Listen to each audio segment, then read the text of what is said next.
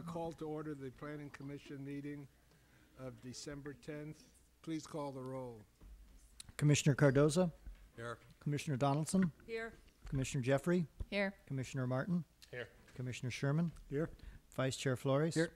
Chair Hoff. Here. All seven commissioners are Join me present. in the Pledge of Allegiance. I pledge allegiance to the flag Of the United States of America and to the republic for which it stands, one nation, under God, indivisible, with liberty and justice. justice for all. Is there anyone who cares to speak on a subject not on the agenda? This is a time for public comment. Seeing no one, we'll move on to action recap, please.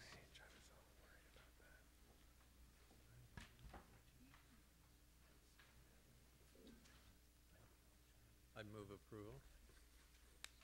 Action Second. recap? Second that? Okay, without objection, that's approved. Director's report.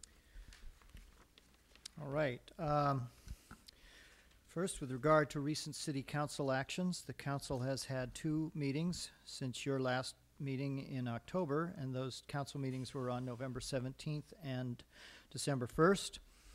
As you know, we had an election, and uh, two new council members were elected. At the November 17th meeting, uh, the first item were some changes on the council. Um, outgoing Mayor Dick Kassis and Councilmember John Fricke made some farewell comments. This was followed by the swearing in of the newly elected council members Kurt Brinkman and Jennifer West. The council then elected Ruth Atkin as mayor and Kurt Brinkman as vice mayor. They also made appointments of their members to the city's various committees. Uh, the interim zoning regulations were passed on second reading on November 17th. They will take effect in 30 days on December 17th. Meanwhile, an urgency, an identical urgency ordinance that was passed on October 27th took effect on November 12th, which is the same day that the new general plan took effect. The urgency ordinance will expire on December 17th when the regular ordinance takes effect. The City Council also approved the second and final passage of an ordinance amending the Pixar Development Agreement that was approved by the Commission at your September meeting. And at their December 1st meeting, the council approved a one-year extension of the planning approvals for the paper mill project at Powell and Hollis Streets. Um, concerning the zoning update, the General Plan and Zoning Update Steering Committee is continuing to work on a new zoning ordinance. Uh, day before yesterday, Tuesday, December 8th, they discussed sign regulations. The next regular steering committee meeting on January 26th has been canceled, so the next meeting will be on February 23rd, at which the design guidelines will be discussed. Uh, the committee also had election of officers. Vanessa Coomerly is now the chair, and John Shorman is the vice chair. One other item I just want to bring to your attention. There are a number of development projects, as you know, that have been approved by the commission that are being held in abeyance until better economic conditions uh, before applying for building permit and beginning construction. We have about five or six residential projects totaling almost 500 units that fall into that category.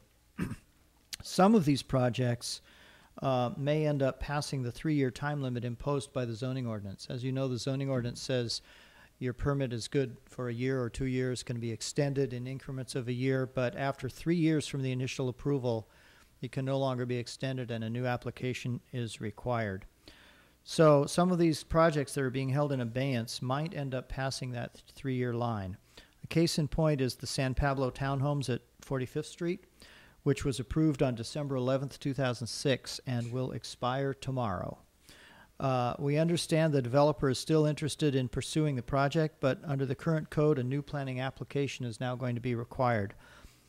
Some other cities have passed ordinances unilaterally extending all planning permits for one or two years because of the current economic circumstances. So we would be interested in your direction as to whether you would, as whether to whether you would like to pursue such a unilateral blanket extension of all planning permits and whether you would uh, want to recommend that to the city council. And if so, we can bring that back for your consideration at the next meeting in January. Did the city council discuss this at all, or did this come? No, uh, I'm bringing it to you staff? first. Uh, It it came from staff, and I'm, um, just because we're aware of this situation. And uh, it was suggested that we run it by the commission before proposing it to the council. We can't discuss it tonight because it's not on the agenda. Right, we just want to know if you want to pursue this so that we'll know whether to put it on your next agenda. We am in favor of that. Is there any other I think we should. commissioners object? Did, did Oakland give a five-year extension? 2011. All, all projects are approved through 2011, December of. oh, of No matter 11. when they were approved? No matter when they were approved, nobody had to come in and discuss. It was Okay. just 2011. Uh, Charlie, I would also like for staff to report to us on the condition of the properties because I would have some reservations about um, uh, continuing uh, a permit for a, a property owner uh, that's not maintaining their property in good condition. I don't the- know if that's the case, Okay. but you know, in the past we have had examples of of property owners slash developers that allow garbage. They, they don't keep their property up. I wouldn't want to give them a blanket approval if they're not being responsible neighbors. Yeah, I can't think of any of the current ones that would fall into that category. The ones that I'm aware of are ones that had already received building permits and had just kind of stalled. But, um, yeah. I Just c- to we- check we on can it, do see that. if there've Sure, been we any do that. problems. Sure. Ra- Rather than making it a date certain, as Oakland did, it seemed to me that your suggestion of a one or two-year extension for each property would, that's, that's something we ought to consider. Okay. All right, we'll put that on your next agenda. That concludes my report. I'd be happy to respond to any questions you may have. Did you want to discuss uh, Mr. Biddle's, uh, Uh, under the, f- under, uh, the first public hearing, yes, you will det- uh, at that time? yes. Okay. Uh, That concludes the director's report. So now we're going to have a series of public hearings. Uh, To remind people of the procedure, we will first hear from the staff, uh, and then from the de- uh, developer. At- After the developer has spoken, uh, we will open the public hearing for anybody who wishes to speak. And at the end of the uh, conclusion of the public hearing, it'll come back to the commission for deliberation and decisions. Uh, If you are, if you want to speak at the public hearing, please remember that you're limited to three minutes per speaker. So the first public hearing we're gonna have is on the Ambassador Housing Project. Uh, And we need to have a preliminary uh, uh, Okay, discussion so by our city attorney. on the dais, uh, we have a one-page memo from Mike Biddle, the city attorney, and which basically outlines um, our office's concern with the subcommittee requirement and the condition of approval. Um, I mean, it's problematic for a number of reasons, but primarily um, whether the creation of the subcommittee would, or their decision would re- require CEQA review or an exception here. Uh, how would we, we would comply with the Permit Streamlining Act? And then also, probably most importantly, is um, how the applicant or a member of the public would appeal their recommendation. So, um, as the staff report suggests, uh, elimination of this requirement and the conditions would pretty much resolve the issue. So, I'm happy to try to respond if you guys have any questions or The, uh, doesn't look like it. the- let me see if I can add to that. The city attorney feels that the- when the planning commission appointed a subcommittee that was an improper act, the sub- subcommittee does not have the authority to act for the planning commission. Fortunately, the plant, that subcommittee on the Ambassador Hotel never met and did not come up with any decisions.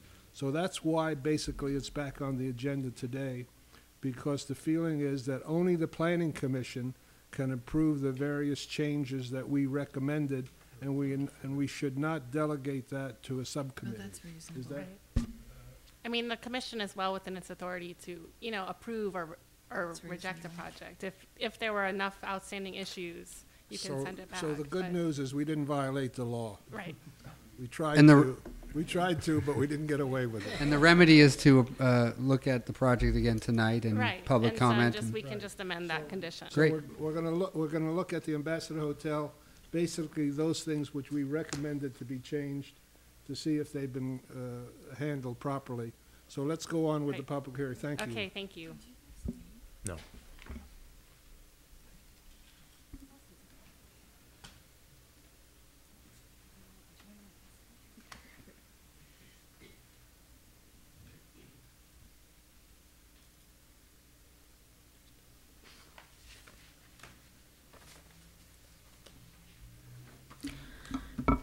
Okay, so uh, as you may recall, in, in October, the Commission approved the Ambassador Project, a new five story building with two townhouse buildings accommodating 69 affordable rental units.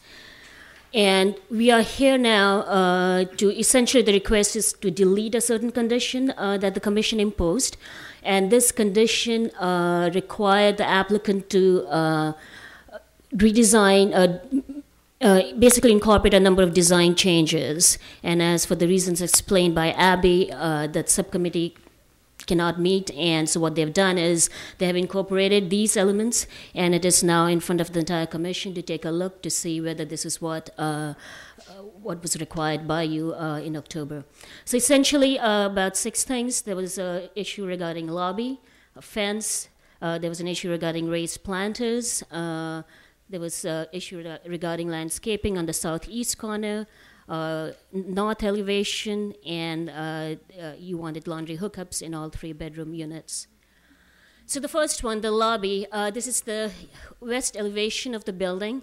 Uh, you can kind of see uh, uh, the lobby here, but the section tells you a lot more.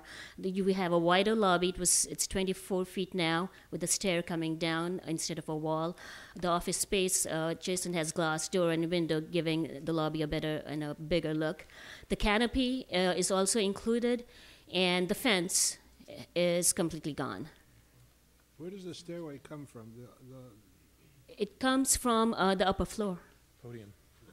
The, I mean, I'm not sure. I, the patio, the. pa- It's the podium level. it's the podium, Podium level. level. Yeah. Uh, you were you had concerns in this area of landscaping. If you recall, there was just this dead space. Also, there was no uh, door leading to the garage. There was concern regarding uh, the backyards of these townhomes. Actually, all uh, all of them. So what has happened is that these uh, backyard areas have been enlarged, and the applicant's uh, slides will probably show you in a greater detail. And these townhouses here have a direct access to the garage. There's a door uh, here now uh, giving them access to the garage. There's a gathering area uh, between these two buildings, and of course, landscaping. All the planters are now flush to the ground, uh, and in some cases will be slightly raised, but no higher than 12 inches. Uh, this is the north elevation that you saw in October. Uh, the windows have been included in the elevation. The windows were, al- were always there, but were just not shown. So you can see them now. Uh, in order to add a little interest, they have included the cable wire here to allow uh, wine planting uh, from the other side if the neighbor allows that or the neighbor can uh, do the planting itself. Why, why did your report say that the planting could only occur if the neighbor does it? Don't they have access to the place themselves? Because the, the, uh, because the cable wire is on the other side, on the neighbor's side. It's on the neighbor's property? No, it's on the wall. It's right on the So, property. so in order for the plants Access to grow, would have to come from the neighbor's Yeah. property. Oh, there's no access to No. the, the space, I see, okay. uh, and uh, the applicant has included laundry hookups in all three-bedroom units as well as the townhouses.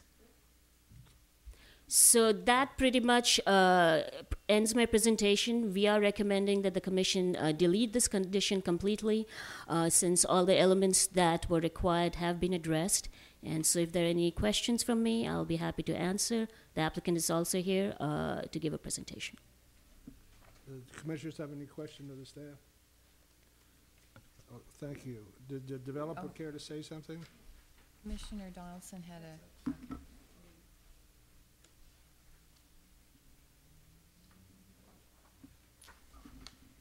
Good evening. My name is Lisa Motoyama. I'm the Housing Development Director at Resources for Community Development. And I'm here with Kava Massih, our architect, and also Cliff Lowe, our landscape architect, to answer any of your questions.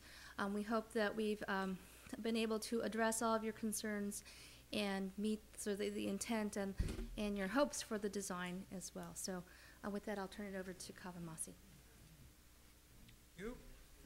Good evening, Kava Massih of Kava Massih Architects. Hello. Very good. Yep. No, that's good. Right here where the sound comes out of. Um, The idea is to quit when you're ahead.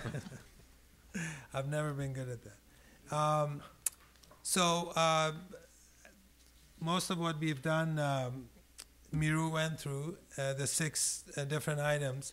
I think um the way these are arranged, um, the, the slides that are going to sort of follow uh, follow this order.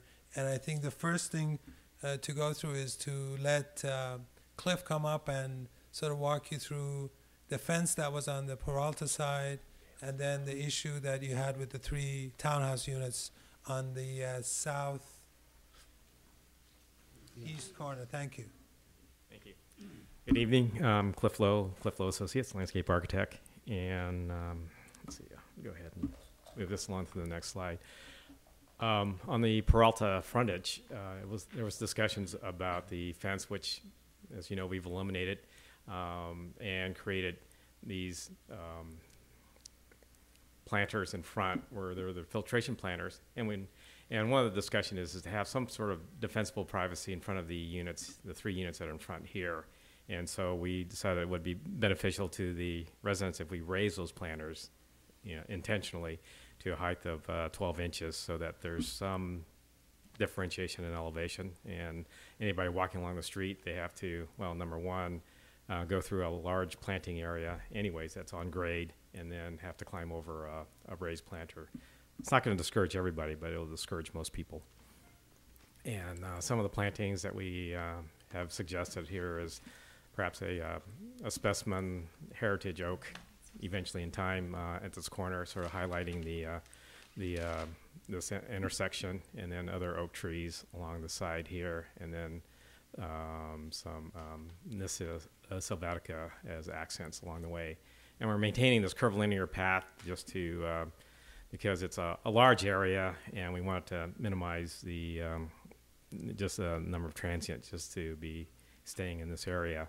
And again, the, the most of the focus is the fence is gone, and uh, we raise these planters and accented the entryway to the uh, main lobby here. Oops. Next slide. Uh, here's the front elevation showing uh, what it looks like from a straight-on shot from Peralta. Again, um, the planters you could barely see with just with the uh, plantings that we have in front of them, but that's the uh, intention is that it all blends together and nothing stands out by itself so that we have uh, a foreground of planting adjacent to the sidewalk and then we have the raised planters uh, uh, adjacent to the windows.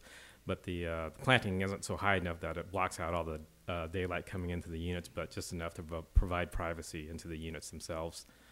Uh, we created a bigger opening here. It was actually it's tucked behind this mound that's along the side of the street, but there is an opening that accentuates the front entry to the uh, to the building itself. Oops, I keep on doing that.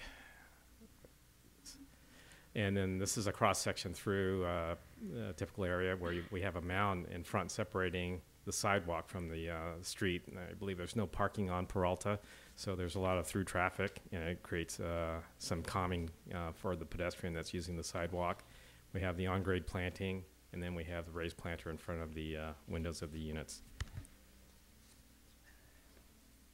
Um, on the southeast corner, um, there was some questions regarding the uh, use of this rear area, where at one time we had uh, the uh, filtration planter for these townhouses along the back here, but it was uh, discussed how to make these rear yards more usable for the units.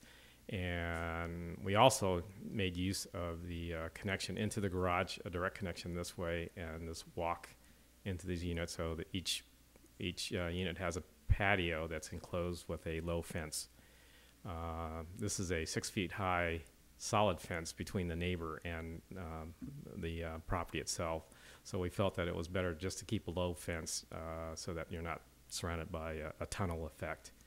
And in this junction, we created a, a node where our, our little oasis um, with uh, tables and, and, and, and seating around and downsize the service pathway into the uh, back area uh, created a, a solid fence across here with a gate so that from the outside you don't really know that there's an entry point on, on this side. Cliff? Yes, Does, uh, The, um, the gate in the back that is shown between the last two units on the right, Oh, does that go all the way out to Adeline? This gate here? Yeah, or is that just No, it's into that- enclosed here. that- that the fence returns here. Okay, so there's no access There's going no all the way through. That's correct. And then the double, it looks like, is that a double swinging gate? Here? At the, no, down, back down on Peralta at the uh, newly landscaped area. There's a gate swinging into the Oh, on property Peralta? and one swinging out. On Peralta? Right down there. That's thirty-six. 36? I'm sorry, mean? on 36. Oh, okay. This is just a single gate swinging out. Okay.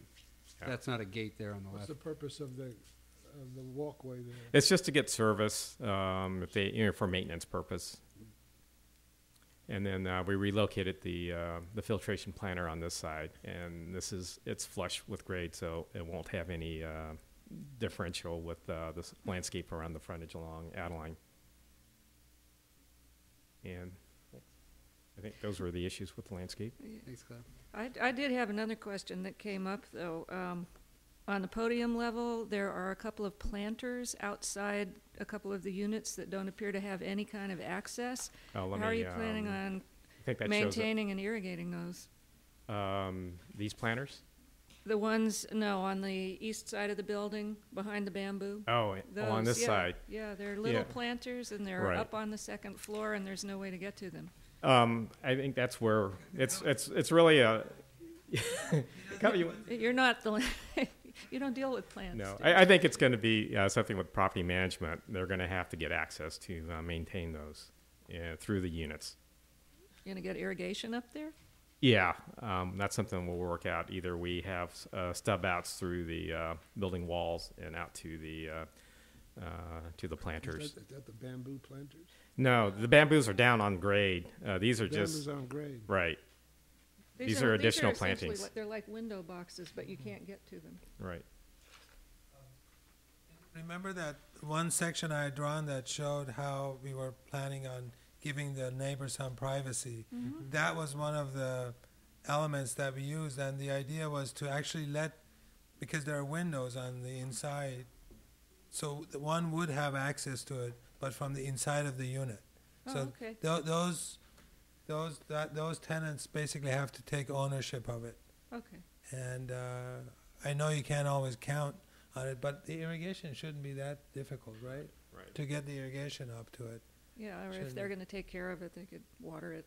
Yeah. But it just, it didn't look like there was any kind of access at all. yeah, it's from the inside. Okay. Um, any other questions for Cliff for the moment? Um, so we'll move forward.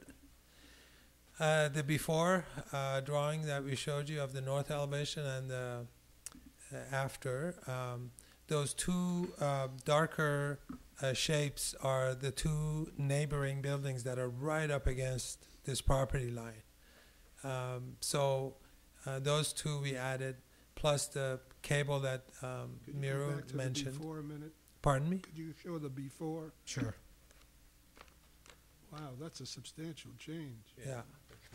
Well, I mean, it really does show the reality of it. We had sort of, well, we didn't we didn't do a very, um, we Good just job. didn't show what was in the distance because most of what you see with the windows in it is, on average, about thirty feet, up you know beyond that northern property line. Especially that, that this this piece here is is close to hundred feet back. So it's it's sort of a, a problem with elevations in, in in general that everything sort of flattens out and it's kind of hard to show the hierarchy of what's closer and what's behind. Has the city of Oakland approved the uh, projection into what had been their? They didn't want anything touching the ground, but the projection In the air. uh, in the all air was okay. Yeah. Um, So that's why you couldn't even put a fence uh, on the ground floor units? Well, I, I think the fence was a was a bit of an issue, and I think um, Helen um, had the perfect idea for when we were going back and forth about what to do with it, and she said, "Let's go without it for the moment. If there are any issues, we'll put one in," and it made all the sense in the world. why sort of act defensive without having to be? Uh, so that's how we ended up with that one. Um, so this is what you had seen earlier, um, and uh, it shows the entry and it's sort of uneventful. Um, this is uh, the new uh, elevation, which is a little hard to see, but we have a closer view of it.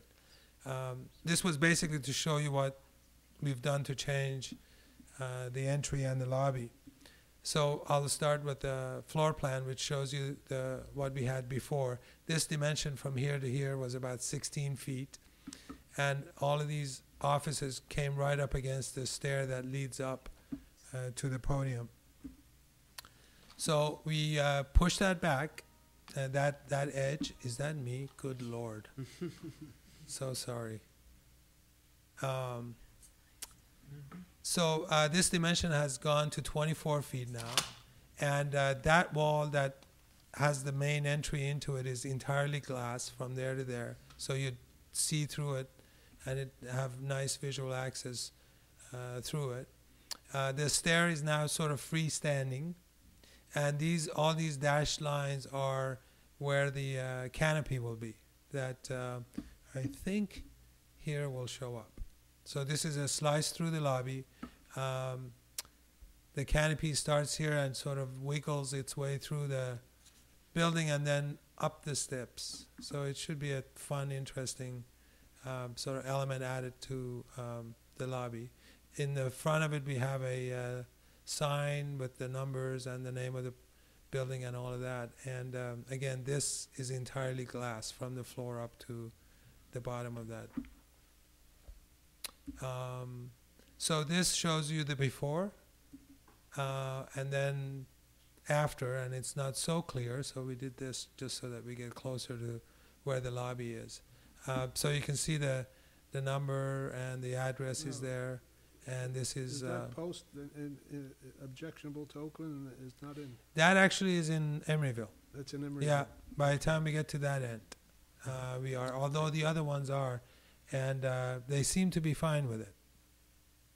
Um, so that's the the the new um, move we've made to make the entry a little bit more apparent. And um, now uh, the last few things has to do with these bricks from the old building that got torn down and how we're proposing to use them. The striping on the ground, we're proposing that two of them that are right at the front door uh, be covered in the brick. So uh, those two go all the way from this planter all the way to the back. So that's one. Two, and this is sort of a key key plan that shows you where this area is. It's the planting area between uh, the trees will also have the bricks. And number three is this uh, small wall that will also get covered with it. Um, Jay tells me that we have about 4,500 of these bricks, but we don't know how many of them are good. So we're going to start with number one at the lobby, keep using them until we run out. And we might not get to this or to the one on 36, but we certainly have enough to cover those two stripes or strips um, at the lobby. And I think that's it. That's, I think, it. So Can you get, can you get pseudo bricks to match the, uh, oh, you can't? they're they're pretty special. They're actually beautiful. Uh, they're the the blonde ones. You know, the uh, they're sort of cream color and but uh, be, when they took them off the building, a lot of them got chipped. So we'll try to use both sides, but we won't do what we did at city limits that Do you have Jim any never questions lets me for forget. Any commissioner questions? Um, Really nothing to do with the architecture, but I was curious the fact that uh, this is going to be financed with low-income housing tax credits. And to get maximum points for a family project, fifty percent of the units or more have to be three-bedroom. Uh, it's thirty percent or more? It's only thirty now? Yes. Oh, okay. used to be fifty. No, we, we, we track that pretty closely. Okay, good. Okay, thank you so much. We'll open the public hearing. Anybody wish to speak? Aha, Mayor. Who's Mayor, that? please. It's Good evening, Commissioners. it's nice to have Mayor. someone, it's not, uh, Atkin. Uh, I'm Ruth Atkin, resident of Emeryville. I live around the corner from Commissioner Donaldson. And uh, I just want to make some very uh, uh, uh, beseech you um, in as this project moves forward. First of all, this is something that um, is uh, going to be an important addition to the city of Emeryville. I'm in full support. However, I have one comment that has to do with a very small percentage of the skin of the building. I, as a resident in town, am suffering from metal fatigue. And uh, there's some roofing on the townhouses that then gets carried down along the sides that's, that's metal. And uh, Ambassador Laundry Building was a very warm and inviting building originally. And I would hate to see this uh, um, uh, site kind of lose that. I, I'm glad Kava spoke to the um, reusing uh, whatever bricks are available for that. But um, this is this is one resident that's suffering from metal fatigue. So I would beseech you to consider a different roofing and siding material. Thank you. is that, uh, Mayor, are you talking just about the, the townhouses Townhouses. on Adeline Street? Yeah. Any, any other public comments?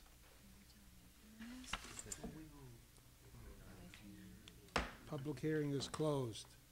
What, what's the pleasure of the commission? I respect Mayor Atkin's comment. We discussed it, uh, we, this has been to us so many times, and I recall Jim bringing it up that, that it looked strange, like a barn, uh, especially in that elevation on A three point nine. Could you put this Um, up on the screen, what we're talking about? We can just put it up on It's like this this. page, Why, uh, Sheet A three point A nine. three point nine, Right, but so people can see what we're talking about. audience.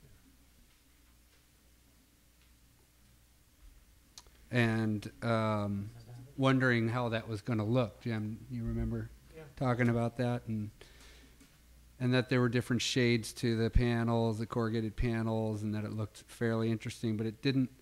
It only showed if you were driving north or south on Adeline. Otherwise, and it was on three roofs, right? There were three roofs, six sides. So Total of five units. five units total. Two on Adeline and three on thirty-six. So I just, I think, I think we just made the decision that, or Kava maybe um, um, convinced us that this might look interesting and different than maybe all the metal buildings we do see around. Um, and so it is, it, it, it might be interesting to see how it looks. A39 or A35 will really tell the story. A35, I think it's, uh, I think That- it's rather interesting looking. For one thing, it has not one flat color, which I think most of the metal buildings in Emeryville do.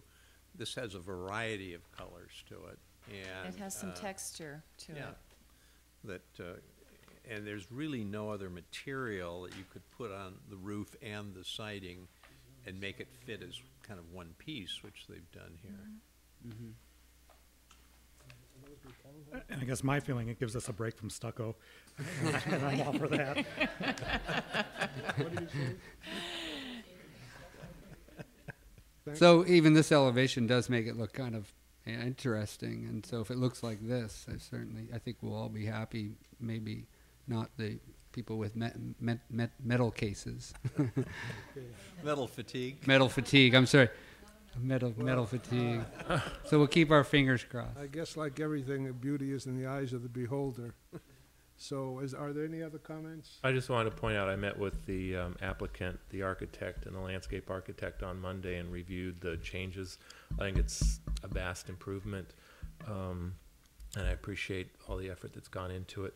I have to agree with, with Ruth about the concern with that particular material. I'm not worried about it on the 36th mm-hmm. Street frontage. It's right at the freeway. I think it makes sense to armor that building there even physically. I think that's a powerful impact. I was always concerned about the two the transition to the two units on Adeline, because you go from that armored space next to the freeway to these wonderful bungalows, and then all of a sudden we go back up to this thing that kind of sticks out. So I think I expressed concerns when we were looking at this previously through the approval, but I didn't, it didn't really resonate. I think there maybe was one or two other commissioners, but at the time, I think most people were willing to see beyond that with the idea that this is a, a way to sort of unify the project and sort of give identity to those units, that it's actually part of the same complex. So, um, I hope it doesn't look like some sick Dalmatian, especially the, the northern cluster there, but, um, I don't have, a you know, as I said, I didn't have a problem with the units on thirty-six. I actually thought it made sense there. Um, maybe there's something that, um, staff can do. We really don't have much in the way of detail. Even the board that we had at the time didn't give us very much in terms of information of how this was going to be accomplished. So I hope the applicant and the architect works with staff to make sure we get something that looks good out there and functions as well. Um, but unless there- any other commissioners have a problem with it, I would move that we accept the uh, changes to the conditions of approval. Uh, Moving acceptance of the, of the- Yep. we have a motion, is there a second? Second. Second. All right. I'll give it to Buzz. Motion and a second, please call the roll. Commissioner Cardoza? Aye. Commissioner Donaldson? Aye. Commissioner Jeffrey? Aye. Commissioner Martin? Aye. Commissioner Sherman? Aye. Vice Chair Flores? Aye. Chair Hoff? Aye. Seven ayes, the modifications are you very approved. This much. Good decision luck. may be appealed to the Yeah. city council within 15 days. Sounds like a great project, good, best of luck. Uh, the next item, I'm going to be recusing myself from this item as I work for the company and I live within 50 feet, so maybe even steps of it. the next, uh, public hearing is the Bakery Lofts, Phase Four, request for a second one-year extension. Please, staff report. Okay, s- this is a permit, request for permit extension for Bakery Lofts Phase Four. Uh, this kind of shows you the site plan. These are the uh, boundary of Oakland and Emeryville. As you recall, Phase Three is entirely in Oakland, and we are only dealing with Phase Four, which is in Emeryville. Uh, we are talking about 16 rental units and two live work units and a small cafe. To remind you of the elevations, this is the Emeryville portion right here, and this is in the context of the street. So the use permit and the design review permit expire one year after the date of approval unless a building permit application has been made. Uh, a one-year extension was granted by the commission uh, in January of this year, and due to the continued economic climate, the applicant has not been able to secure financing and is therefore requesting for one additional year of extension. The ordinance allows uh, the commission to grant two one-year permit extensions and so this would be uh, applicant's second and final permit extension request, unless, of course, like Charlie mentioned earlier, uh, the commission and the council uh, decide uh, otherwise.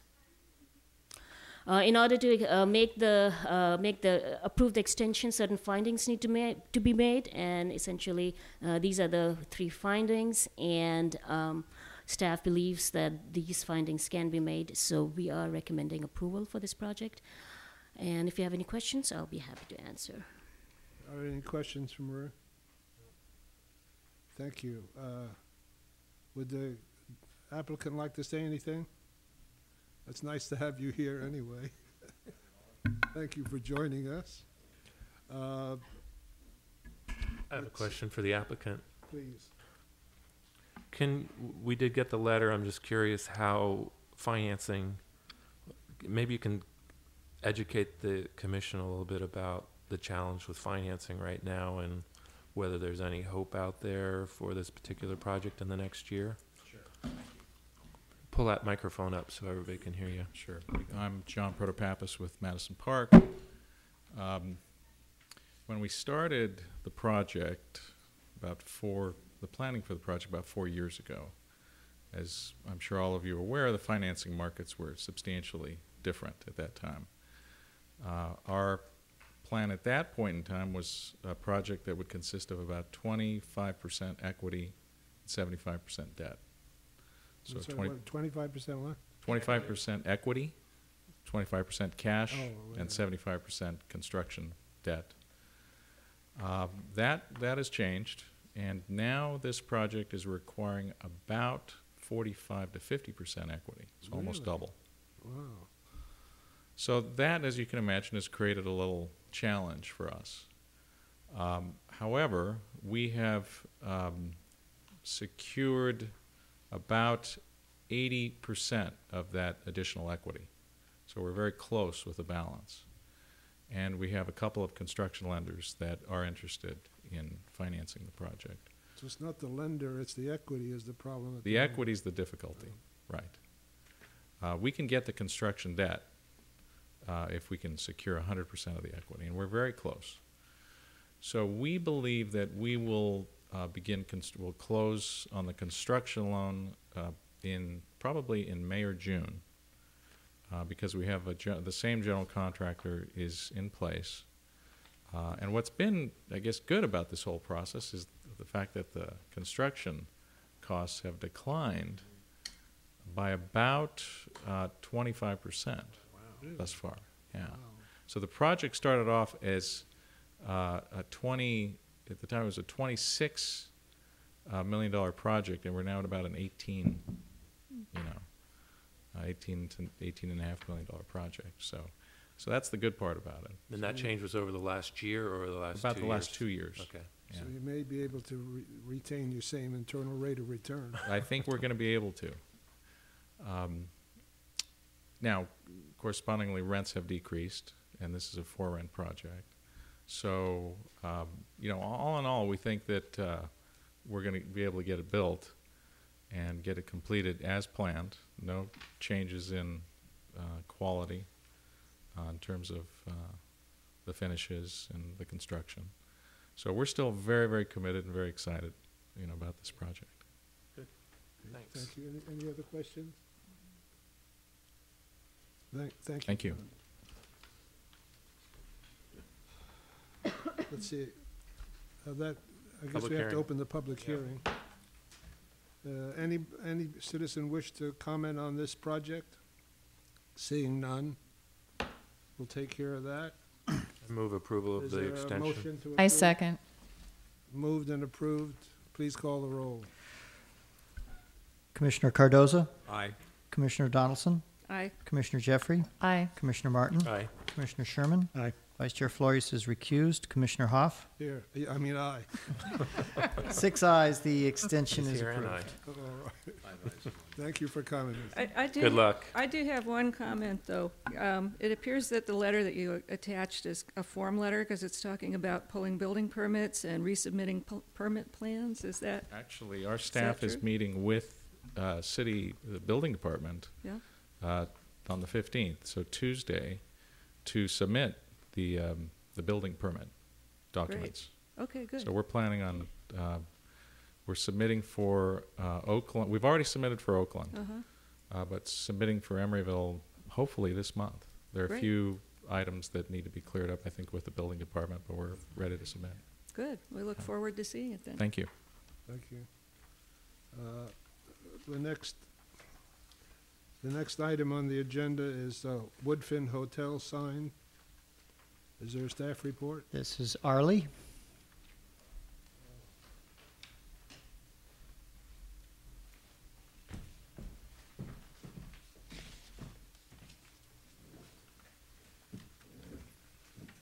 So I've passed around some of the material samples for this.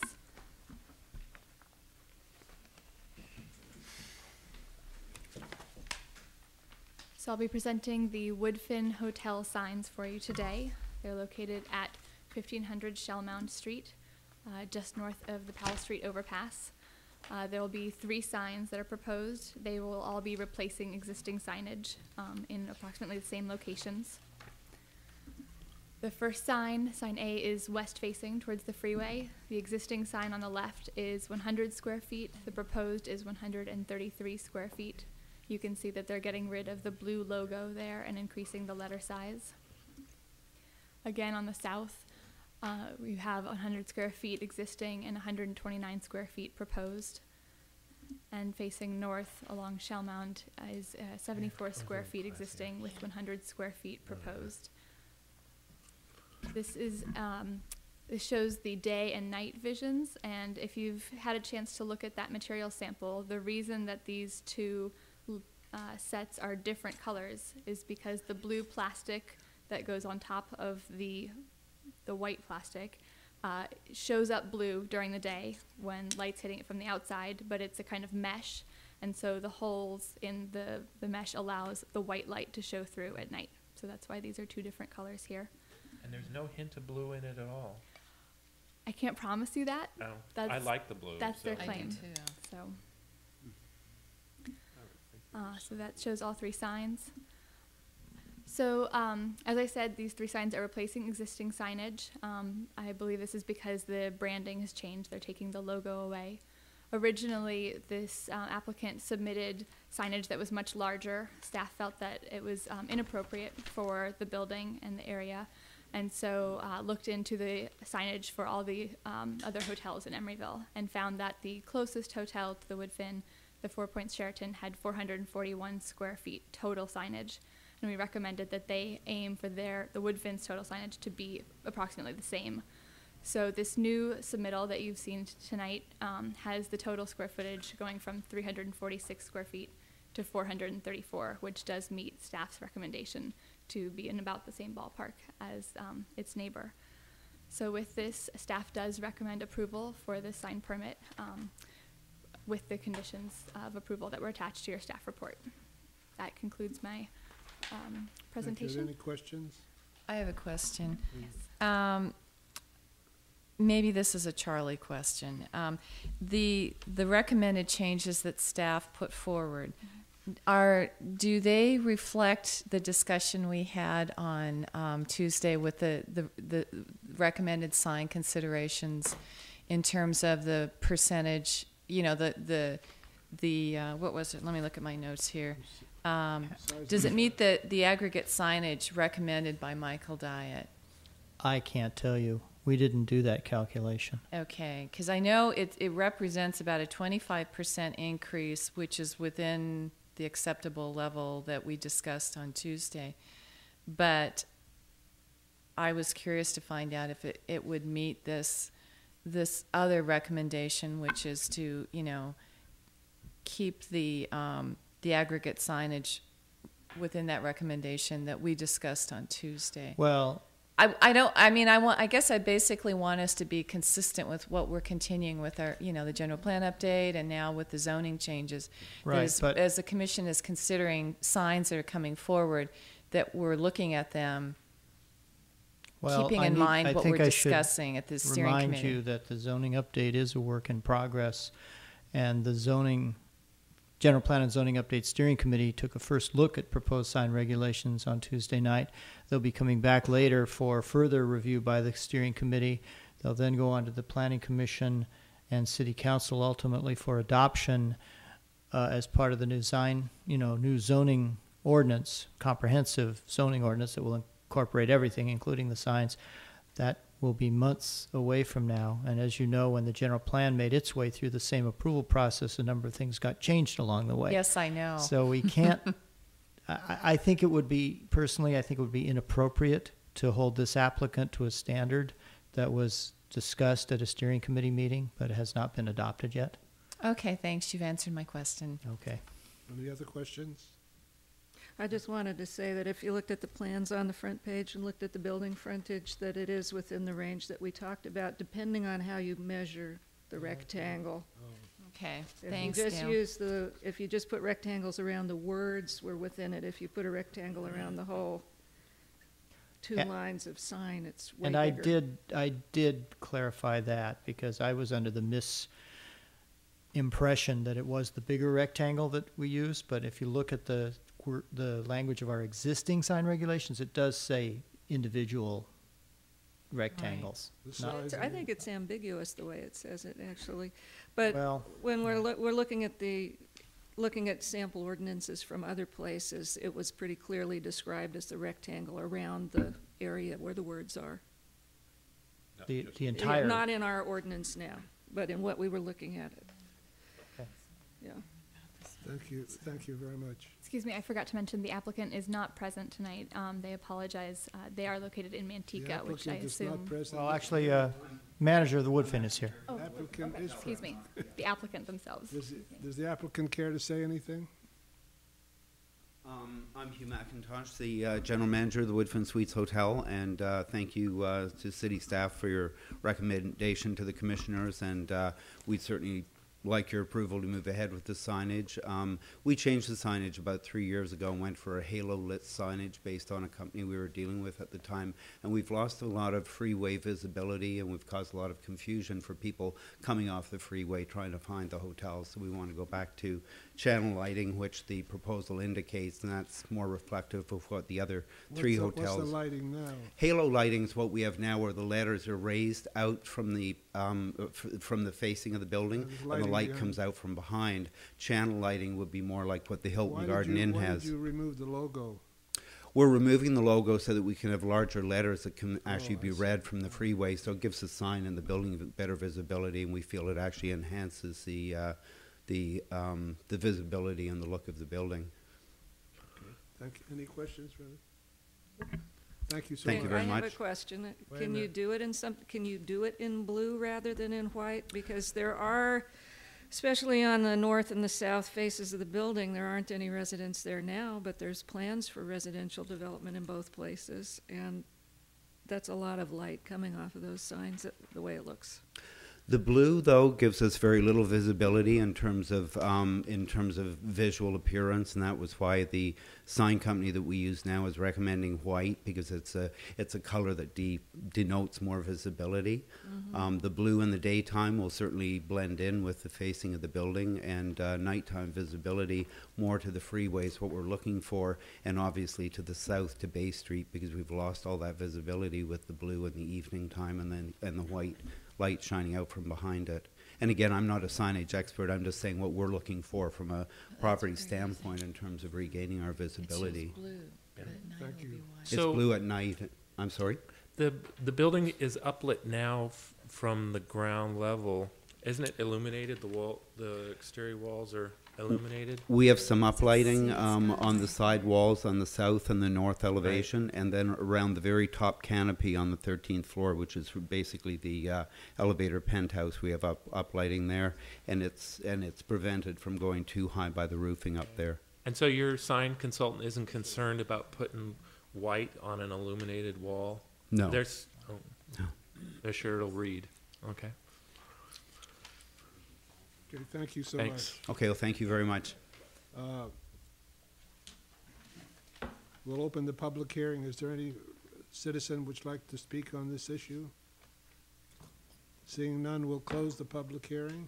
I do have one more question to staff. So I appreciate the, the um, redirection to the applicant on the size of the signs. I think what's, we've ended up with here is much better, something larger I would be very concerned about. I'm just wondering about how that, those decisions are made and especially with regard to the zoning update, whether there can be some, even if it's a locational standard that can be used so that it isn't interpreted as arbitrary, you know, how you set the distance, what's appropriate, you know, there's a big difference between what, what was allowed for the Hilton Gardens and what we're allowing here. So I think it's just something that we should be mindful of as the zoning ordinance gets updated, so that there isn't an appearance of some, Once we get the something new, beyond once we subjective. get the new ordinance in place, we will have specific guidelines. Right. Um, and I, you know, I sort of agree with Gail's point about the white light. I really don't know what to anticipate. I can't tell what it's gonna look like. I think there's something, even if it's not, I, I understand your concern about the current blue, um, just not being terribly visible, but my point was to have a little bit of color there. It's less stark, but I don't know enough about the um, profession to be able to make any specific recommendation around that in terms of the illumination, how far you can see that white sign, whether you're gonna see it from the Bay Bridge or it's something that You know, I just don't Yeah. have enough.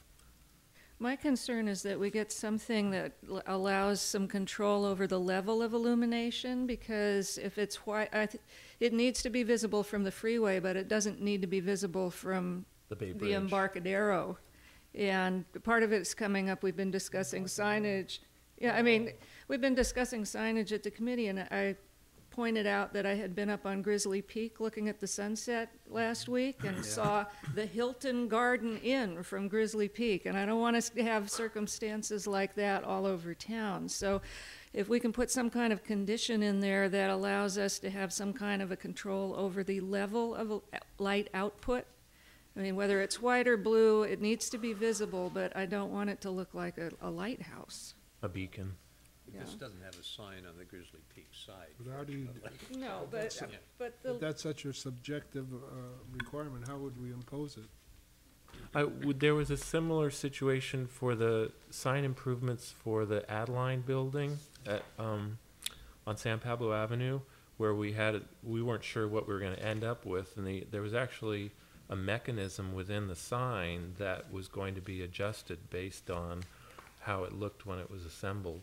I don't, again, I don't know professionally what's technically feasible, but I agree with Gail that we don't want something that looks You c- you- like this you- you- glaring light Are, from are you talking about the Bay Street sign where they had a tuning where the they could tune? dog, the dog salon. On San the- Pablo Avenue. Avalon. The Adel- There's a Reese- The Avalon Avalon, I'm not Adeline, right, the Not Avalon. Avalon Place, but on the east side Remember of they San had the, Pablo. it was a, actually, I think it was a city-sponsored improvement project for the fa- facade program. Right. And, um, there were four or five n- signs that would be illuminated at night, and the primary concern there with the illumination was the fact that there were residences right above the signs, within five or ten feet of the signs. So that's how that issue was addressed. And I think the adjustment basically was gonna be complaint-driven. If a lot of people in those units upstairs started to complain, there was a mechanism to allow there to be an adjustment.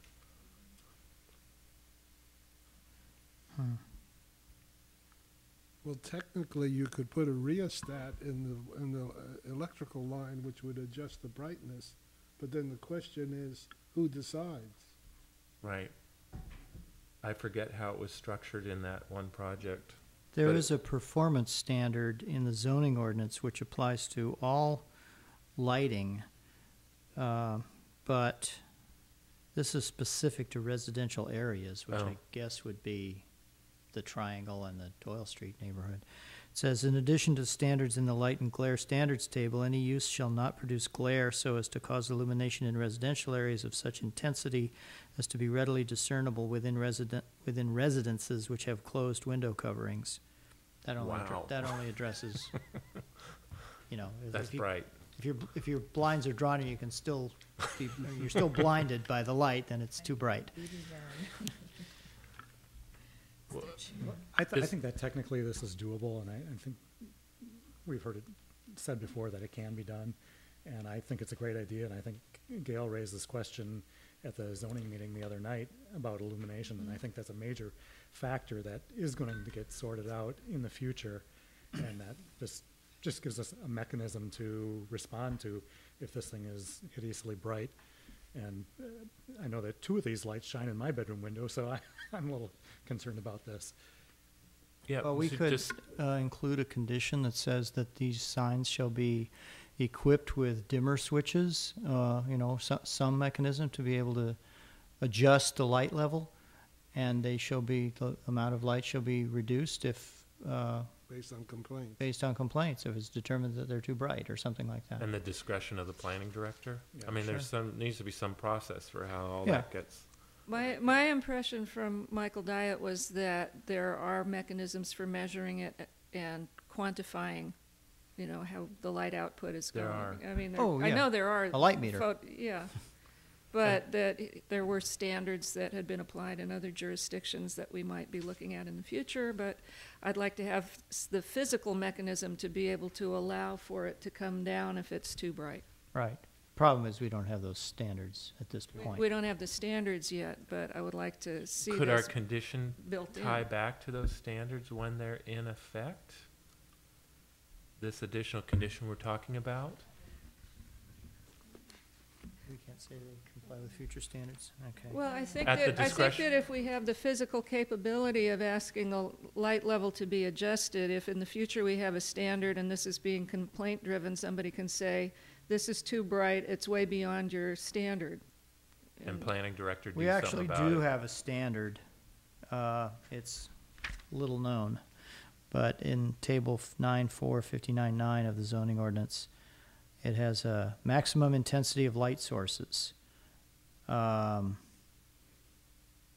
And it's basically bare incandescent illuminated buildings, any other unshielded sources, fifty candles per, per square. Oh, centimeter. Is that right? Intrin- Fifty candles per square centimeter, whatever that means. That's, that's the standard. I don't have it prepared. That, that shows up on a, on the bulb, uh, like on the specs of a bulb, lumens and candles. Ah. So I guess that would be the way to figure that Okay. out. Well, I don't think we So should that would be- be complaint driven. Would you like to propose a motion including that? Well, that's already existing, right? I would, yeah, I would suggest you include a condition that says that it- there, the li the signs be, be provided with a mechanism where their light level can be adjusted, and that the light level will be reduced if complaints are received, or something like that. Or, Based on That sounds good to me, I would, I would go with that. I like the, the dimmer function, you know. So is that a motion with that condition? And is Is there, there a n- second? is there no reference back to the planning director addressing the complaints? okay, if, if, if the, in the planning director's sole discretion, the, you know, the the complaints are received and planning director determines that the Yeah. I think illumination should be We need lower. to identify where the complaints go. Yeah. How does the applicant feel about that? I uh, I certainly don't have a problem with that. I think, as as as Arlie said, the um, the facing of the of the lettering is going to have a screen mesh over it, so I don't think we're really going to be hit with a lot of bright uh, illumination. Um, the south the south facing end of the building looks into Bay Street, so we're currently uh, look you know facing an empty lot. If you come out of the AMC theaters, you currently can't even read the Woodfin Suites um, sign from that distance. And to the north of us, I'm not sure when that property will be developed. Um, and then facing the freeway, there's no buildings between us and the freeway that would be bothered by any illumination coming from the front of the building. And I think from a business perspective, um, it's great visibility for us, and that's really what we're looking for. We're looking for something, number one, that is compatible with the building and looks nice and, and Well, how do you feel the about the integrity. dimming, about having a dimming function I, on the I, light? if if that's what the if that's what city uh, staff and the commissioners um, propose, I don't think our our. Our, I don't think Chandler Signs would be opposed to um, including that in, in, in our situation. I second the Um, motion. But you know, when you look, when you you you made reference, or you you did to the Hilton Garden Inn signage, they have like fifteen hundred square feet of signage. We're looking at three hundred. We're you know we're looking at less than a third of what they have. And the Four Points also has great visibility, as does the courtyard. And I think we should be offered the same Well, on the plus side, you can turn it up. And until somebody comes and complains. Turn it up until And people start and complaining. Until somebody comes and complains. I think the suggestion, if John shows anybody, up if any- I think the suggestion, if anybody were to complain about the brightness of the signage, right now, I don't know how many of you know, but uh, two of our signs have been out for months because we're trying to work through this and get the proper signage on the building, and we do need that visibility. It helps us with our revenues and helps the city with Thank the you uh, so total occupancy tax. So, Okay. so Thank you. thank you. And you won't, you won't see it from Grizzly Peak because there's no sign on that side. I realize that. There's a motion and a second on the floor. I, I didn't, I got that Commissioner Flores seconded, I didn't get who made the motion. Uh, I did. Gail. Thank you again. Thank you. All right, are you ready to vote? Please Yep. call the vote. Commissioner Cardoza? Aye. Commissioner Donaldson? Aye. Commissioner Jeffrey? Aye. Commissioner Martin? Aye. Commissioner Sherman? Aye. Vice Chair Flores? Aye. Chair Hoff? Aye. Seven ayes, the application is approved. This uh, decision may be appealed to the city council within 15 days. So moving right along, the last public hearing is a general plan amendment on floor area ratio, whatever that means. That would be me. I think we've been here before.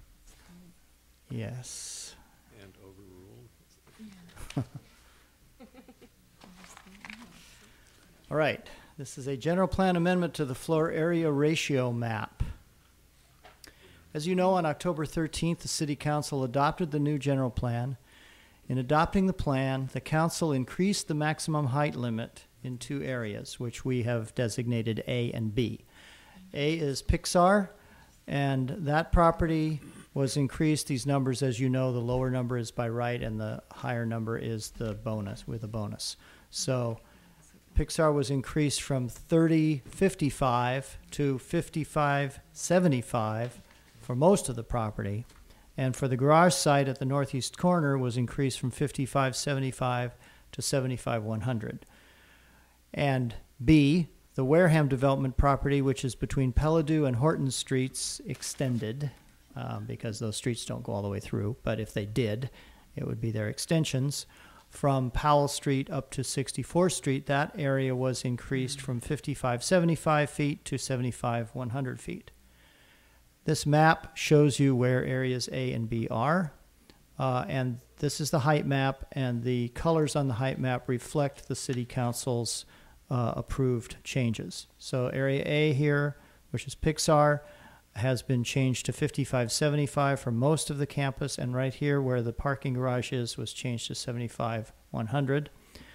And then this little band here, this is Horton, this is Peladeau, and then if you were to extend those streets north, it would look like this. This is 64th up here, this is Powell down here. So this band was changed from 5575 to 75 100. You may recall there were three bands of more or less equal width going from Hollis to the railroad that stepped up as you went uh, west 35, 30 55, then 55 75, then 75 uh, 100. And the council kept those three bands north of 64th Street to 65th Street, but they made the middle band here between south of 64th Street. They changed the middle band to be the same as the western band. So basically, this whole area now is 75 100, and the area facing Hollis is still 30 55. So that's what they did with regard to the height map.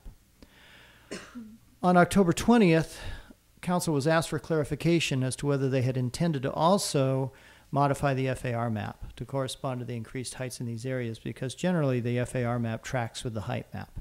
Most of the council indicated that they did intend to make that change. However, because the general plan had already been adopted and the item was not explicitly listed on the council agenda for discussion, a general plan amendment is actually required in this case.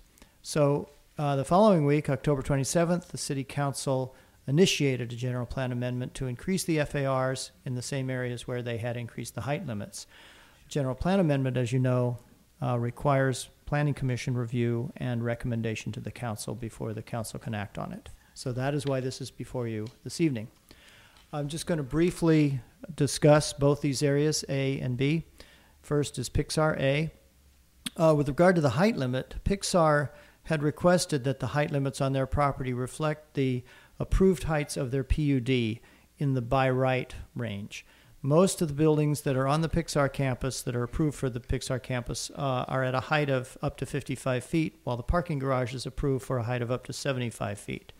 The previous height limits that had been in the draft general plan of 30, 55, and 55, 75 would have put those approved heights in the bonus range rather than the by right range. The revised heights of 55, 75, and 75, 100 put the approved heights of the PUD into the by right range. Concerning the FAR, the PUD uh, for Pixar has an, uh, an FAR of 1.4. The general plan FAR map has most of the Pixar campus in the 1.2 to 1.6 category, uh, with the eastern end where the garage is uh, in the 2.0 to 3.0 category, which is the next higher category. Um, 1.4 is within the bonus range of 1.2 to 1.6. Uh, therefore, it would be necessary to increase the FAR for the Pixar campus to the next level, which is 2.0, 3.0, in order to have the FAR, their approved FAR, be in the by right category. However, there is no need to increase the FAR for the garage because parking isn't included in FAR anymore, as you may recall, and the approved FAR of 1.4 is an average over the entire Pixar campus. So our recommendation for Pixar is to make the entire campus 2.0, 3.0 without differentiating the garage area. So Charlie, if they have an approved PUD, they have the right already, right? Yes, they do. So what is, what is the implication, what is the difficulty with just leaving it? If it's, if it's already approved, it's already, Uh, well, let me finish my presentation. We can come back to that. Anna Shimko, who uh, of Cassidy Dawson Shimko Kawakami, did I say that right? who represents both Pixar and Wareham, is here and can respond to the question. That same question came before the city council, and um, they basically it raises their comfort level if every if if their if their previous PUD approvals are consistent with the new general plan. We also pointed this out at the steering, general plan update steering committee meeting, and the steering committee was very comfortable with what was decided upon. You I just want to put pre that in there. pre city council Pre-city council. action. Yes. Okay. So I do have a question about the Pixar Area A.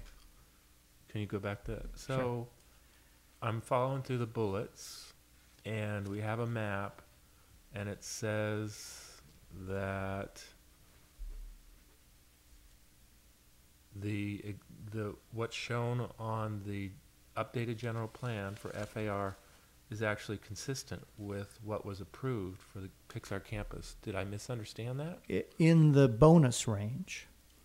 Oh, so it would have to be the bonus range What's because parts of it approved- is at one point two. Yeah, it's it's 1.2 by right and 1.6 with a bonus, and the Pixar PUD is at 1.4. So it's higher than the by right number, which puts it in the bonus range. Okay. Pixar wants it to be in the by right range. Okay. When- When would the buy, when would that ever apply, if they have a PUD?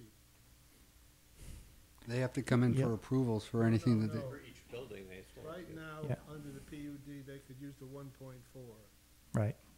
Well, I will. I would note though that when Pixar was approved, the PUD map, I mean the FAR map was amended, the the of the previous general plan. The FAR map of the previous general plan was amended to make their FAR 1.4, so that their PUD approval was consistent with the general plan at that time. And we've now replaced that FAR map from the old general plan with this new FAR map which does not give them the 1.4 FAR by right that their PUD allows. Is there a concern that they may, that the PUD may expire, or they may want to change the PUD, and then they have to go back to the lower requirements? Is that their problem? I think you should direct these questions to Ms. Shimko after I finish my presentation, if you don't mind. Maybe I will. Okay. Um, may I move on to Wareham? Yep. Then? Okay. Um, as I said, the draft general plan divided the area between Hollis and the railroad into three height and FAR bands, with the highest adjacent to the railroad and the lowest next to Hollis Street. The middle band was 5575. Uh, I'm sorry. Yeah, that's right. The middle band was 5575. Um, and Wareham requested that that be increased to 75100 and that the eastern boundary be relocated to 40 feet west of Hollis Street in order to enable full development of the delineated areas while continuing to require low, lower building heights along Hollis Street. City Council did not agree to expand the middle band so that its western edge would be 40 feet west of Hollis, opting to leave that boundary at its previous location, which is about 225 feet west of Hollis. However, they did agree to increase the height limit of the middle band to 75 100. Um, the corresponding FAR for 75 100 would normally be 3.0 4.0, while the existing FAR map designates that area as 2.0 3.0. Within this band, from south to north, we have the existing Emery Station 1 office and lab building, the Emery Station North office and lab building, the Heritage Square surface parking lot, the central part of the Hollis Street Center, and the which is that gray live work building that has Ruby's Cafe in it on Hollis Street, and the uh, eastern half of the FedEx depot on 63rd um, Street. All of the existing development in this central band currently is well within the existing FAR category of 2.0, 3.0. Uh, Which one is Emery Station One? It's uh, across from the terraces. It's Oh, okay. south of 59th The- the Street. Larger brick building there. Yes. Oh, okay. Yes. Wareham has indicated they intend to consider future development of office lab buildings in the two blocks between 62nd and 64th Street. So it is in those two blocks that an increase in FAR would be the most valuable to them because changes are not likely in the rest of the area. Nonetheless, in the interest of consistency between the height and the FAR maps and to ensure the existing developments are well within these allowable FARs, we're recommending that all of Area B be redesignated from 2.0, 3.0 to 3.0, 4.0. So in summary, uh, staff's recommendation is that Area A have an FAR of 2.0, 3.0 over the entire area, and Area B have an FAR of 3.0, 4.0 over the entire area. And those areas are shown here Well, you know, on uh, this map. The um, what that would result in is this darker band here that's along uh, San Pablo would extend over all of Area A, and the reddish band here that is to the east would extend over all of Area B. So that's the staff recommendation, and that concludes my presentation, and I'd be happy to respond to any you know, further the- questions. The, the Area B proposal really makes sense because if we didn't do that, they would have a development site that's half in one FAR zone and half in another. Not, no, these are between blocks. Well, no, actually, w- uh, Commissioner Hoff is referring to this area up here. Uh, these blocks are rather large blocks. They extend all the way from Hollis to Overland, and they're actually currently in three FAR districts from uh, east to west. So this would put them in two FAR districts where you had the eastern third in the 1.2 to 1.6 district, and then the western two thirds in 3.0, Is- Is it possible that a block in the central ba- band and the western band could be developed together, or is that not logical? Yeah, it could. It's, it has a transition to it.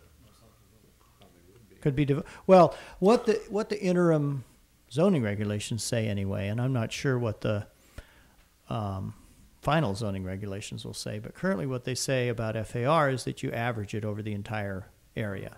You take, you, you calculate your allowable floor area in each portion, but then the resulting floor area, total floor area, can be located anywhere on the site, but you still have to comply with the height limit. The height limit is absolute. The height limit cannot be averaged. But you would basically average the FAR of the two sites? Of the two areas of the, of the one site, yes. So, Charlie, can you, with the cursor, outline the footprint of Emery Station One on that? Sure. Emery Station One is right here. Within the blue, though? Yes. Okay. So that's in the, that entire city block there? Right. I'm sort of going back to Art's concern about whether the transition fits, and that's a rather large building, isn't it? Mm-hmm. Okay, and then where is the Emery Station East footprint?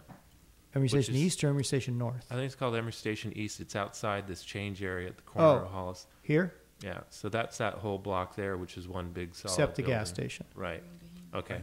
The nor- north of the, is Emery Station North, isn't it? That's right here, yes.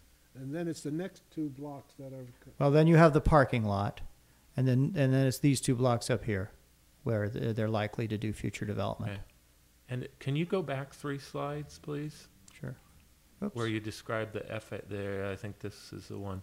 Okay, so for, I understood the Pixar change because we're at one point two, and by right, they have one point four. And we only, we only have categories that go one point two and then all the way up to two. So that makes sense. So, but for this location, how is existing development and the existing entitled development inconsistent with what was allowed under the updated general plan? Because in the last bullet, you say to ensure that existing development is well within allowable FARs. Where Well, it, it's. Where is it not? It's, it isn't not. it, it is consistent with the current FARs. It's really more to have the height map and the FAR map be consistent with each other. There really was no need to increase the height limit in these areas either. But uh, since the height limit was increased, it seems to make sense to have the FAR map match it. It really has no practical implication because it's extremely unlikely, well, except for the surface parking lot, which is currently proposed as a parking structure, Uh-huh. to which FAR does not apply. Right. Um, it's extremely unlikely that either Emery Station One or Emery Station North is going to change over the life Sure. of this current general plan. So what you do in this area is really, frankly, somewhat irrelevant.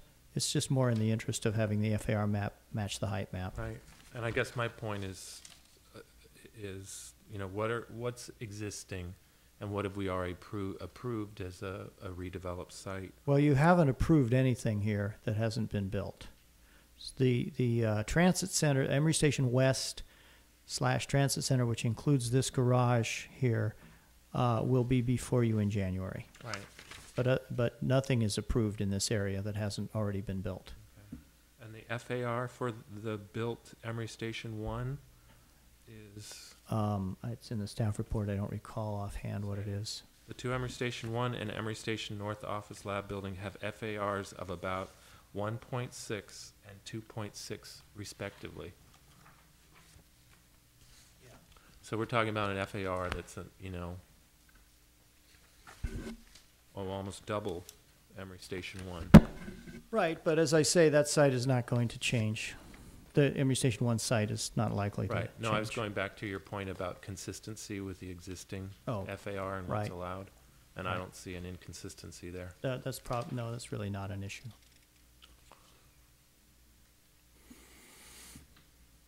That's it for my questions. Would you- questions? Care to hear from Ms. Shimko? No? Okay. Thanks for coming. Didn't you have a question for her? Yes. Oh. uh, Sorry, Charlie. Could you, uh, I, I, I, I know you've done this before, but would you please explain why you need the change in the FAR if your PUD already gives you what you want? I think the commissioners would like to know that. Sure. Um, it actually is a little confusing, especially with the changes going on. And just to remind you, the changes haven't been finished because we do now have the interim zoning regulations, but we don't yet know what the permanent ones are. Pixar has a development agreement, and that is what actually freezes in place the planned unit development as the zoning. But in the event that the development agreement were to go away for one reason or another, the planned unit Could you development, tell us, could you give us an example of why it would go away? um, there, there, I- I'm not, there are an infinite number of possibilities. You know, state law could change, case law could change, there could be something that happens under the development agreement that causes one side or the other to terminate. Okay. But in the event that that were to happen or it were to expire, be even of its own natural terms before the Pixar development were finished, presumably the, the PUD would still be in place, but the height limit, the FAR under the PUD, would be inconsistent with the general plan, and it would appear if the zoning regulations are as they seem to be contemplated at this point, that, and under your general plan, that Pixar would be required to obtain some type of density bonus in order to fully build out the project. So you'd have a planned unit development approval, a preliminary development plan that is somewhat inconsistent with the general plan. What is the underlying FAR that, that you're worried about? Um, it's 1.4 is the Pixar. That's the PUD. Plan, What's the underlying FAR? That's it. That's it. Well, the, The old, What do you well, the old general plan, it was one point four. right. Currently, it's what this map shows right here. One Which point what? two. One point, that's what I'm saying, one point two. So Pixar's So interest. the new general plan is one point two. Right. And you're concerned that you might have to go back. My question is, under the new building that you just built, what is the FAR? Uh, the FAR for the site as a whole, I Mm-hmm. do not know what it is, but presumably it's significantly under 1.4, given that Is it uh, under there's 1.2? room The left to build. Yes, 1.4 it is. One point four, I believe, is calculated based on the full build-out of all of the approved Pixar buildings divided by the site area of the total site. Oh, I see. Okay. So it's they're not just the They're building. nowhere near that yet. No. They're nowhere, They aren't anywhere near that yet, No. but when they come to full build-out, they will be. at one point four. Yes. Right. So if this inconsistency is not resolved, then Pixar could be forced to come to the city for some discretionary approval and a discussion of additional public benefits, which we are concerned we may and may not be able to meet based on at least the public benefit standards that we've seen so far when the PUD was fully negotiated, vetted in front of the city, analyzed, and embraced by all. So we just want to be able to go You know, forward ba- with. Based on Pixar's track record with the city, I'd really doubt that that's a problem. But anyway, So, I let- would support the change. So let me um, clarify. So the ins- the concern and the instance, at least one of them, is that somehow the development agreement goes away, and then Pixar is left with a property with some buildings that, if uh, presumably in one option, if the property is subdivided, or somebody wants to do something else on the property, then they have to somehow resolve. Actually, I'm assuming that Pixar would still be there and that Pixar would simply want to complete the development under the approved preliminary development plan. But without a development agreement. Right, right, because the preliminary development plan would continue to um, hopefully be the zoning as it currently is. And without a development agreement, any additional building that Pixar would want on the site would have to come back to the city for review and approval, wouldn't it? Um, actually, any building that Pixar builds, even under the development agreement Right, and the PDP, FDP. has to come through Right. for an FDP. Right. Yeah. No, I'm just wondering, uh, just what scenarios this is actually a predicament for Pixar, short of us, the city, no longer having a development agreement with them. Uh, I don't, I just don't see any. Well, just as a, I don't know, as a planning issue, I personally think it's problematic to have a, a new general plan that's not consistent with a previously granted entitlement. And with the zo- the with a- zoning for with the a site. PUD. I mean, a PUD, i- uh, i- i- for, you know, use permits and variances and things like that, it's not such a big deal. But this is a PUD, which is the zoning of the mm-hmm. site. Sure. I And for the zone, that, basically what it does is it makes your zoning inconsistent with your general plan, which is not supposed to be. Okay. I, I understand that argument. Thank you so much. Let- Thank you. We never opened the public hearing. Well, that's because We you were having haven't questions. finished asking questions yet. We're here, we're ready to do it. Anybody would like to speak on this matter? Seeing none, public hearing is closed. Can I have a motion No. on approving this? No, I'll make I a have comments to make. Go ahead. So I understand the rationale behind the change to the Pixar FAR and the importance of consistency. And to some degree, I can accept that because we don't have a c- category that says 1.4, um, and it forces us to bump up. I had a real problem when I heard for the for the area B though. I, I was really disappointed with the council when they made that change to the building height. It was an important, deliberate transition to something that this particular developer is already getting additional entitlement for, and so, in, including something that I feel is out of character with the area. So now, not only are we talking about handing them this additional building height entitlement with no bonus or direct benefit, it's just an additional entitlement. We don't get to review it. You're talking We don't. about which side? I'm talking. ab- No, I'm talking Area about where Wareham. Where, okay.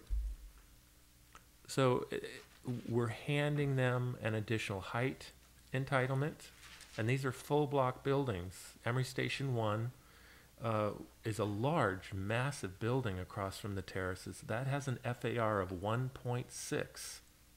So imagine giving them by right an FAR of three.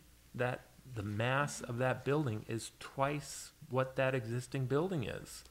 And it boggles me that this is even under consideration as something that's reasonable when there's no direct benefit back to the city for this enormous additional entitlement. This is not about a bonus or some discretion that the city has any control over. It's handing an applicant an enormous change in the current entitlement. And that, in fact, was an increase over what they originally entitled, both in building height and FAR for that area. So we, we gave them more as part of the general plan update. Now we're doubling the FAR allowed there, not even by, you know, with the bonus. So I'm, I, I can't speak more uh, adamantly about the mistake in uh, handing them this entitlement for Area B. If they've got an application that makes sense in terms of building height and FAR, they can bring that to the commission and the council and demonstrate that it makes sense to give them that additional entitlement. But just, just give an applicant that additional entitlement is a mistake. To make the maps fit uh, is a mistake. Well, maybe I'm misreading this, but it looks to me like it's existing now at, uh, floor area ratio of two without bonus, and they're just pushing it to three without bonus. Three with four with bonus. And Emery Well, yeah, Station, But it was right. three with bonus before. No. No, it two- never was three before. That was two and with bonus, uh, if I'm, unless I'm misreading this chart. No, that's right. It was two by right and three with bonus. Right. That's what it is now. Right.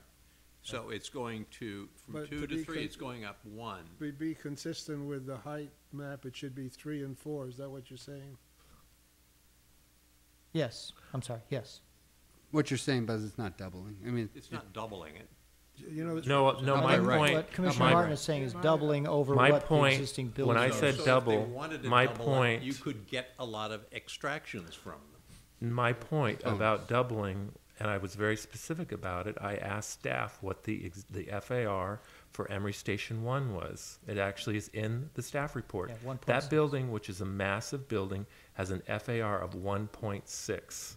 And my point to the rest of the commission was with this entitlement, we're saying automatically, you get something that's almost double what the mass of Emery Station One is, without even questioning it. And that's not okay to me. Jim is just trying to provide a visual example of what will happen. in terms of And the this FAR commission has consistently voiced concerns about the mass of buildings. And I'm just going to jump in here. I mean, the council made their decision. I was very disappointed in their decision. One of the goals of the general plan update process was to provide that transition in height from the core and move outwards and step down and to honor some of the scale and pedestrian friendliness that we're trying to push in the city along Hollis Street.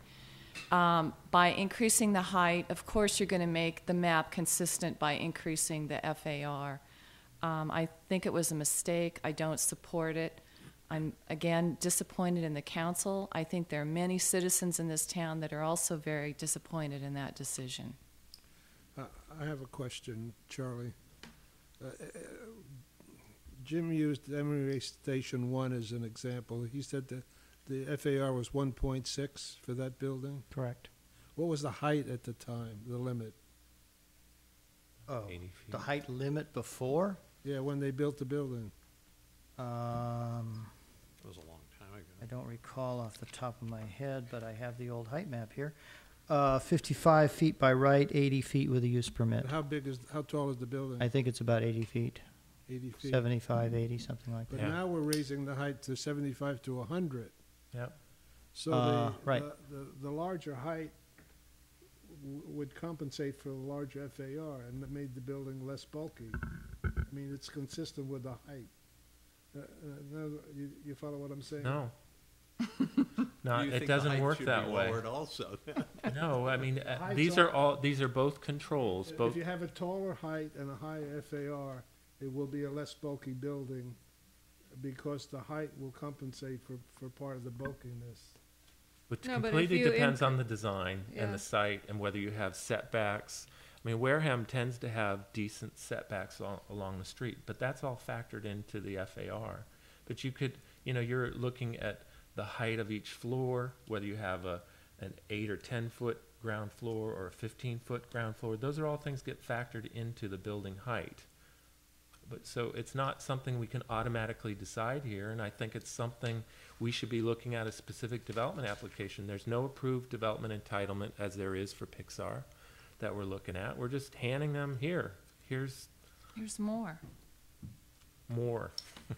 I'd like to offer a different argument, and that's one of the things that I look at as this is its proximity to the transit and the train station.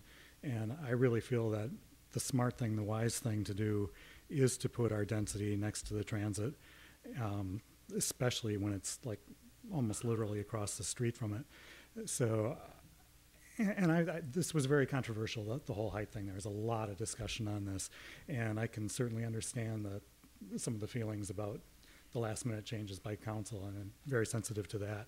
Um, but in this case, I've always supported the height there. I've always supported the height for the entire block there. And there are a num- number of other people that have also. Um, but because of its proximity to transit, I, I fully support both the height and the increased FAR. So I, uh, I'm actually would move for approval of uh, what the staff has proposed for both sites. You, you're moving approval of the staff report? Yeah. Is there a I'll- I'll second? second that. Okay, uh, any, any discussion? Let's vote. I think we all kind of know where we all feel. so, um, yeah, I Let's think we just should just vote. vote on it. Get it this over has with. come before us many times. and- So the motion is to accept the staff report for both A and B. Call the question, please. Commissioner Cardoza? Aye. Commissioner Donaldson? No. Commissioner Jeffrey? No. Commissioner Martin? No. Commissioner Sherman? Aye. Vice Chair Flores? Aye. Chair Hoff? Aye. Four ayes, three noes. The Yeah. recommendation is approved. We will forward your recommendation to the city council and note what the vote was. And and then, now they don't have to overturn us. That's part they of would have the, done. that's part of the fun, Art, don't you know? I hate, I hate being overturned.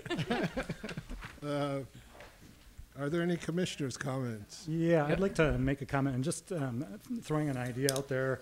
Uh, Since uh, in our economic times, things are kind of slow here. One of the things that came up in the last couple weeks is like the 40th Street, um, removing the lanes and increasing traffic, vehicular traffic on 40th Street around the curve, getting rid, um, rid of the lane that they've closed off. One of the things that concerns me is that now that we've got the general plan completed, we've got the area that's designated to be the most dense, the core, the Powell Christie area. We've got a plan for, for Hollis Street, we've got a plan for Park Avenue, we've got, you know, PR, PUD for Pixar. But I don't feel like we've got a really good master plan for maybe our most critical area of the city, including a transit plan. And what I'd like to see, maybe in, in 2010, is some sort of planning process of some sort, and it doesn't have to be an official plan, but I think we should have a dialogue, start a dialogue of um, looking at our transit problems, our tra- um, the traffic problems, and also kind of a vision of what is it that we really want to do in this area. And my concern, I think, is is when things were moving on Site B prior to this, it's almost like we came up with a design for the building, and then we were like, okay, now how do we get the, the traffic to work around it to work with this project? And I think that's a little bit backwards. And I think um, what I'd like to see is we put some ideas together on let's build an infrastructure, let's look at how we can do an infrastructure for the future that can support what we want in these different areas. Um, so, so we're not responding to like putting band-aids on streets to make the, the projects work. Are you referring to the, the sort of central bayfront area that's kind of focused around Powell and Christie? Yeah, the whole, really from basically IKEA to PPP, including the, the, the marketplace. I know we've got the PUD for the marketplace, but I don't feel like, I feel like we're treating the projects as individual projects. We're treating Site B as Site B and the transit center as a transit center and marketplace as marketplace. But there's not a coherent plan that's tying everything together. And I Well, think, Actually, if I may, Okay. there, there is.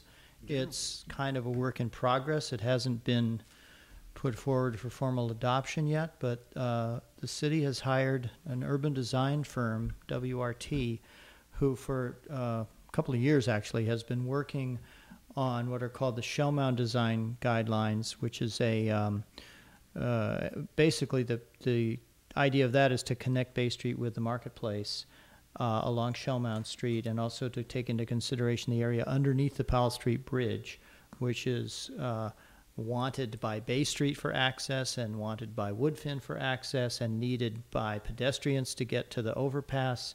And WRT's study has comprehensively looked at all of that. I don't, I think it came to the commission at Yeah, one we point saw for a it. study session. It m- might have been quite a while ago. That- that's It's gotta kind be of at least a year ago. It's been on the back burner for quite a while, uh, but it's coming back to the front burner now. And also, WRT has also been hired to take a look at Powell Street um, between basically Christie and Frontage Road. And that really was staff's recommendation was that with all this traffic there and all the concerns about traffic there, we didn't want the gateway to the city to be designed by traffic engineers. And so it was our recommendation, which the council endorsed, to have an urban design firm lead the project to design the gateway to the city with traffic engineers as subconsultants to them to give them advice as to whether what they were doing was really going to mess things up or not. So uh, WRT has been working through some ideas there, and the most recent um, iteration of that has been that now staff feels, and we've discussed this with WRT, that we need to marry these two projects. We need to create a more holistic, larger vision. Take what they've the work they've done on Shellmound, take the work they've done on Powell Street, put them together into a single plan that covers this whole area. Now, it doesn't cover quite as extensively as you are suggesting, all the way down to a key and up to PPP, but it would be for the whole that whole area. Basically, an urban design vision for the area that takes into account the traffic and transportation issues. Um, and we hope to bring that forward for study sessions at the Planning Commission and City Council uh, within the next six months. So I hope that's Um, what you're looking for. I think that's part of it, but I think Okay. maybe we should look at expanding that. You know, it- it Well, sh- maybe when it comes forward, you can tell us what, you know, what This- else we should thi- do. This be, this being the last meeting of the year, I'd like to take the opportunity to compliment our staff and the city attorney staff. I think we have one of the best staffs that I've had the pleasure of working with. I've, over the years, I've been involved with the City of Oakland Redevelopment Agency. I've been on the city's school board. I've been a member of many private housing authorities. And I think our staff ranks at the top of my experience in terms of completeness and thoroughness of their reports. I know sometimes we disagree with them, but certainly, certainly, uh, the professionalism I think is superb, and I have to compliment them on their fine work. Ditto. Thank you, Art. Much appreciated. Anybody in the audience want to comment on that? Meeting adjourned.